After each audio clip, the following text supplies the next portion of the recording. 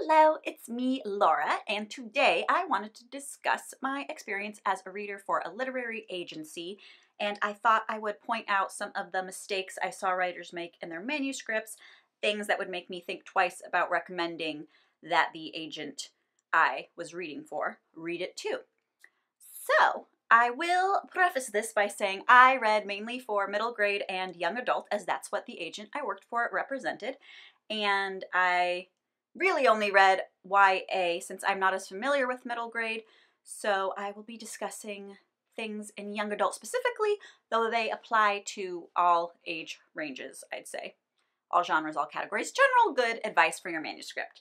So let's just dive on in. So, one of the common issues I would see in young adult was that the central conflict of the story was relating to adults as opposed to teens, meaning a lot of the conflict and big plot twists had to do with things their parents had done or things in their family history as opposed to things in the present timeline of the teens' lives.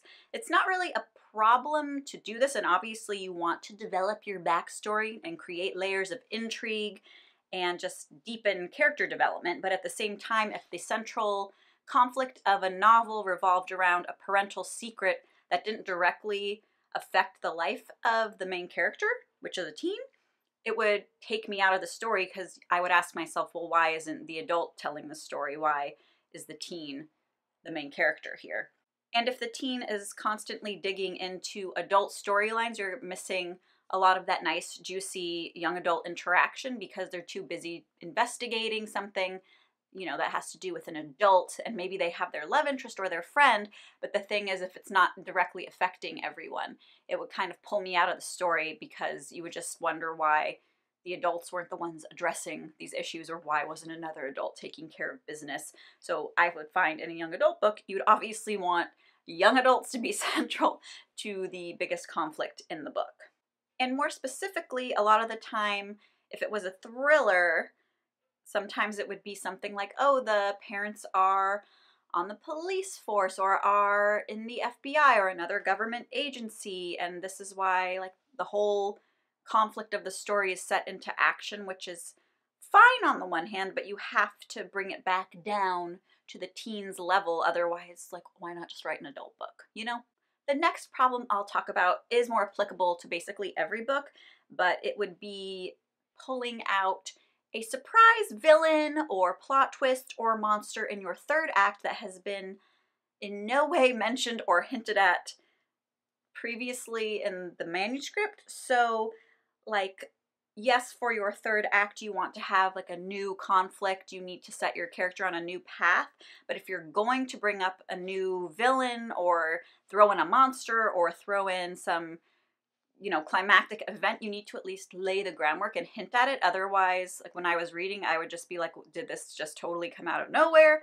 This doesn't make any sense. Like what are the stakes here? If like i didn't even know this was coming that takes all the tension out of the rest of the story. And at that point you don't really trust the writer because you think well anything can happen. So it deflates everything instead of ramping up everything. Like you might think throwing in like a crazy sea monster to your um, beach read might ramp up the stakes, but it's like, well, if you know you want to do that, you have to say like there's some weird eggs that have been found on the coastline, or you have to say there were rumors of these creatures. You can't just throw something in and expect it to be exciting just because in and of itself that thing is exciting. You gotta lay the groundwork, and this was a common thing I'd see in a third act. So basically, if you want to throw in something crazy, you just have to hint that at it. You don't have to be really heavy handed about it. But if you're going to introduce a new element, you have to sprinkle those breadcrumbs in for the reader. So that actually ramps up the tension entirely because the whole time you're thinking and wondering, what is that sort of random piece of information about? Is that relating to something? And then whammo bammo jammo, it was all worth it because it was all leading up to something. Another thing that would turn me off when reading was when I could tell something was a little too heavily inspired by another book or work or character because it just comes off kind of as a blatant ripoff. It's fine to be inspired by other art. That's what we all do. That's, you know, you take in movies, books, music, etc., but you have to put your own spin on it because there's all too often you would just say like oh this is obviously a magic school based upon the magic school from that very famous book and there's not really enough of a difference or you would say you know oh this character is an awful lot like that character from that other book with just basically maybe one difference. You have to make something your own. Like fan fiction is a great learning tool, but if you're submitting to agents, you want to make sure the thing has become your own and you should maybe be able to see, oh, there's still XYZ tiny things that come from that thing I loved that I incorporated into my character, but it has to be your character. Because when I see that, inevitably, usually if they've taken one element a little too far in terms of inspiration, there are other elements from that same source. So things in the book become less exciting and less fun because they become predictable because you're seeing exactly where they're coming from. So this is not new advice, but it's that's just one of the things that would bug me is when it's like, oh, this is very clearly like this this is very clearly like Dorothy from The Wizard of Oz and this is an Oz story, but it follows almost to a T what happens there. Just make it your own. And the next thing that would make me not want to recommend The Agent Take a Second read was repetition. Usually this means like action sequences are very repetitive, meaning like uh, I like a sword fight, but if you're gonna have three big sword fights over the course of your book, make them different. Like you don't want to watch a movie that has the same fight sequence three times. You love to watch new and innovative fight sequences. You can mix up the setting, you can mix up the weapons, you can mix up the timeline, you can slow down moments, you can speed up moments. You just don't want monotony through repetition in terms of anything. And that includes conversations, like you don't want to have your characters rehashing information. Um, for example, if you have a big sequence that happens in one chapter, it would get tedious when you'd start the next chapter and have a recap of what just happened. This is a lot more common than I realized because I just didn't think about it, but there were a lot of manuscripts where the beginnings of chapters would just be recaps of what just happened and it would just slow the story down and there's no reason to recap because you were there unless you're doing like a dual point of view thing and then you have to be a little more careful because if you have a character who's actually recapping you gotta keep it speedy, you gotta do a lot of telling, not showing. Like, you don't need to go through the whole sequence of events because we, the reader, know what happens. So, if you have to have your character rehash it, do that. Rehash, don't repeat, if that makes sense. Like, condense, keep it moving, um, and try to vary everything action, dialogue, sentence structure.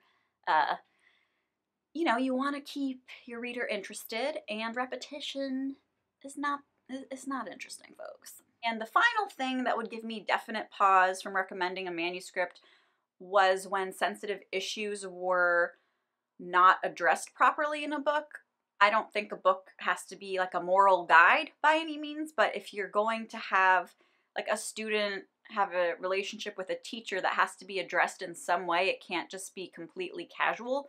Someone at some point in that story has to point out the problem with that and that was a very common one actually in young adult was teacher student relationships and if it's well handled you know that's it right there in the word it's well handled but i would find a lot of the time things like that would be treated very casually or as though they were not unusual or as though they were just the norm which it's not. And again it's not your character's job to be your authorial voice but if nowhere in the book at all is there someone or something somewhat addressing that it's gonna stand out generally it would refer to like inappropriate relationships like that um, but it could also be just you know i'd read books where you could read 100 pages and there are you know people of all genders in the book but only men would be getting all the dialogue and other characters would just be treated as stereotypical props and it was just like